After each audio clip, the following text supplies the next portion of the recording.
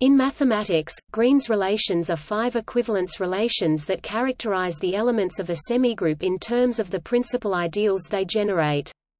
The relations are named for James Alexander Green, who introduced them in a paper of 1951. John McIntosh Howie, a prominent semigroup theorist, described this work as so all-pervading that, on encountering a new semigroup, almost the first question one asks is what are the green relations like? Howie 2002.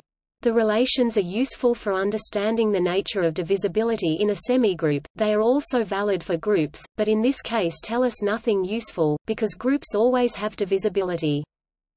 Instead of working directly with a semigroup S, it is convenient to define Green's relations over the monoid S1. S1 is S with an identity adjoined if necessary. If S is not already a monoid, a new element is adjoined and defined to be an identity. This ensures that principal ideals generated by some semigroup element do indeed contain that element.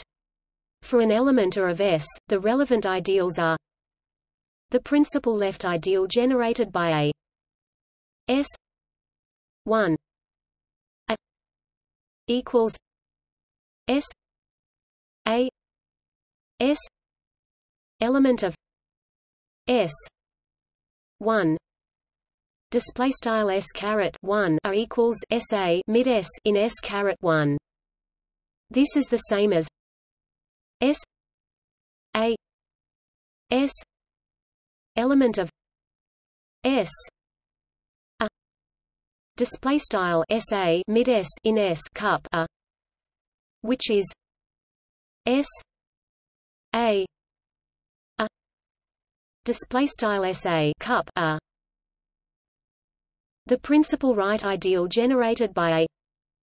A. S. 1 equals a. S. S. element of s. 1 display style as caret 1 equals as mid s in s caret 1 or equivalently a S. A. Display style as cup a. The principal two-sided ideal generated by a. S. 1 a. S. 1 display style S caret 1 as caret 1 or S. A. S. A. S. S a. A. Display style shash cup as cup sa cup a.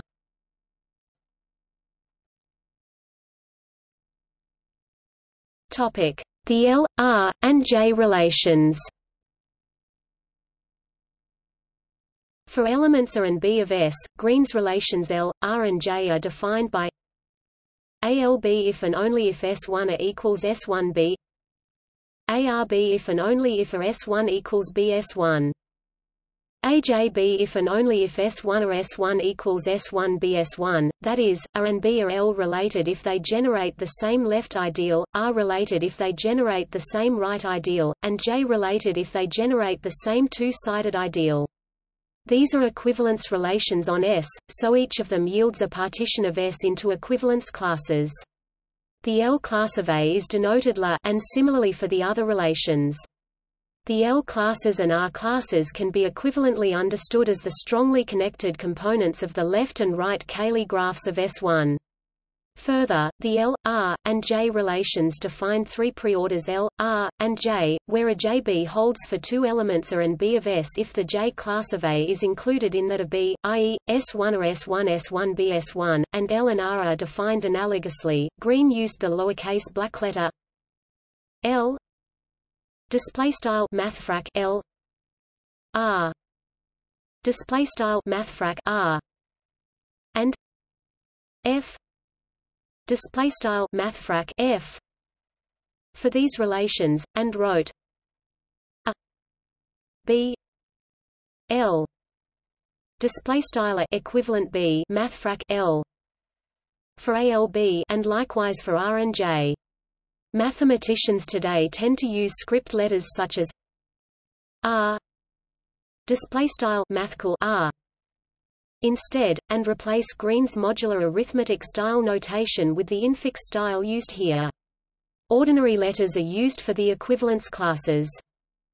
The L and R relations are left-right dual to one another. Theorems concerning one can be translated into similar statements about the other.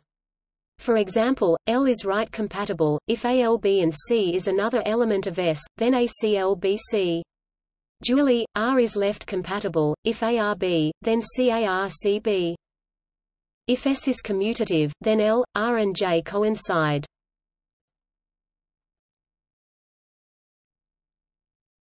Topic: The H and D relations. The remaining relations are derived from L and R. Their intersection is H AHB if and only if ALB and ARB. This is also an equivalence relation on S. The class Ha is the intersection of La and Ra. More generally, the intersection of any L class with any R class is either an H class or the empty set. Green's theorem states that for any H class H of a semigroup S either I H 2 H equals display style h caret 2 cap h equals empty set or i i h 2 equals h display style h caret 2 equals h and H is a subgroup of S. An important corollary is that the equivalence class He, where E is an idempotent, is a subgroup of S its identity is E, and all elements have inverses, and indeed is the largest subgroup of S containing E. No H class can contain more than one idempotent, thus H is idempotent separating. In a monoid M, H1 is traditionally called the group of units. Beware that unit does not mean identity in this context, i.e. in general there are non-identity elements in H1. The unit terminology comes from ring theory, for example, in the transformation monoid on n elements, Tennessee, the group of units is the symmetric group Sn. Finally, D is defined, ADB if and only if there exists a C in S such that ALC and CRB. In the language of lattices, D is the join of L and R the join for equivalence relations is normally more difficult to define, but is simplified in this case by the fact that ALC and CRB for some C if and only if ARD and DLB for some D. As D is the smallest equivalence relation containing both L and R, we know that ADB implies AJB. So J contains D. In a finite semigroup, D and J are the same, as also in a rational monoid. Furthermore they also coincide in any epigroup. There is also a formulation of D in terms of equivalence classes, derived directly from the above definition. ADB if and only if the intersection of Ra and pound is not empty. Consequently, the D classes of a semigroup can be seen as unions of L classes, as unions of R classes, or as unions of H classes. Clifford and Preston 1961 suggest thinking of this situation in terms of an egg box. Each row of eggs represents an R class, and each column an L class. The eggs themselves are the H classes. For a group, there is only one egg, because all five of Green's relations coincide, and make all group elements equivalent. The opposite case, found for example in the bicyclic semigroup, is where each element is in an H class of its own. The egg box for this semigroup would contain infinitely many eggs, but all eggs are in the same box because there is only one D class. A semigroup for which all elements are D-related is called bisimple. It can be shown that within a D class, all H classes are the same size. For example, the transformation semigroup T4 contains four D classes, within which the H classes have 1, 2, 6, and 24 elements respectively. Recent advances in the combinatorics of semigroups have used Green's relations to help enumerate semigroups with certain properties. A typical result Satoh, Yama, and Tokizawa 1994 shows that there are exactly 1,843,120,128 non-equivalent semigroups of order 8, including 221,805 which are commutative. Their work is based on a systematic exploration of possible D classes. By contrast, there are only five groups of order 8.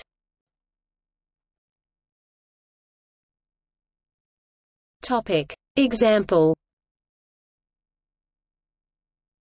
The full transformation semigroup T3 consists of all functions from the set 1, 2, 3 to itself. There are 27 of these. Write ABC for the function which sends 1 to A, 2 to B, and 3 to C. Since T3 contains the identity map 1 2 3, there is no need to adjoin an identity. The egg box diagram for T3 has three D classes. They are also J classes, because these relations coincide for a finite semigroup. In T3, two functions are L-related if and only if they have the same image. Such functions appear in the same column of the table above. Likewise, the functions f and g are R-related if and only if f x Topic F Y G X G y for x and y in 1, 2, 3, such functions are in the same table row. Consequently, two functions are D-related if and only if their images are the same size. The elements in bold are the idempotents. Any H-class containing one of these is a maximal subgroup. In particular, the third D-class is isomorphic to the symmetric group S3. There are also six subgroups of order 2, and three of order 1 as well as subgroups of these subgroups. Six elements of T3 are not in any subgroup. Topic: Generalizations. There are essentially two ways of generalizing an algebraic theory. One is to change its definitions so that it covers more or different objects, the other, more subtle way, is to find some desirable outcome of the theory and consider alternative ways of reaching that conclusion. Following the first route, analogous versions of Green's relations have been defined for semirings Grillet 1970 and rings Petro 2002. Some, but not all, of the properties associated with the relations in semigroups carry over to these cases. Staying within the world of semigroups, Green's relations can be extended to cover relative ideals, which are subsets that are only ideals with respect to a subsemigroup Wallace 1963. For the second kind of generalization, researchers have concentrated on properties of bijections between L and R classes. If X are Y, then it is always possible to find bijections between Lux and Lie that are R-class preserving. That is, if two elements of an L class are in the same R class, then their images under a bijection will still be in the same R class. The dual statement for XLY also holds. These bijections are right and left translations, restricted to the appropriate equivalence classes. The question that arises is, how else could there be such bijections? Suppose that lambda and rho are semigroups of partial transformations of some semigroup S. Under certain conditions, it can be shown that if X rho topic. Y rho with X rho 1 y and y rho 2 equals x, then the restrictions. Rho 1 lambda x lambda y. Rho 2 lambda y lambda zare mutually inverse bijections Conventionally, arguments are written on the right for lambda, and on the left for rho, then the L and R relations can be defined by xly if and only if lambda x equals lambda y xry if and only if x rho equals y rho and d and h follow as usual. Generalization of J is not part of this system, as it plays no part in the desired property. We call lambda, rho a Green's pair. There are several choices of partial transformation semigroup that yield the original relations. One example would be to take lambda to be the semigroup of all left translations on S1, restricted to S, and rho the corresponding semigroup of restricted right translations. These definitions are due to Clark and Carruth 1980. They subsume Wallace's work, as well as various other generalized definitions proposed in the mid-1970s. The full axioms are fairly lengthy to state. Informally, the most important requirements are that both lambda and rho should contain the identity transformation, and that elements of lambda should commute with elements of rho.